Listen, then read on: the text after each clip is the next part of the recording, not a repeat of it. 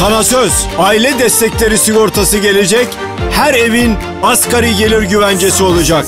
Hiçbir çocuk yatağa aç girmeyecek. Sana söz, yine baharlar gelecek. Bay Kemal sözünden dönmeyecek. Sana söz